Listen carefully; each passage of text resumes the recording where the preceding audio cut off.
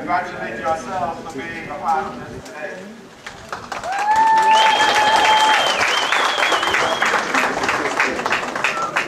Normally when we end a parade of this nature in New Providence, we are alone in the back of the headquarters House. But I think this is a beautiful uh, afternoon having all this participation by members of the community because this is exactly what we are trying to achieve.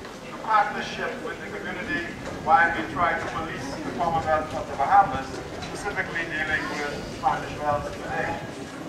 I want to again commend the efforts of those who are responsible for the youngsters, the young man out there, and I think they deserve, deserving of a good round of applause.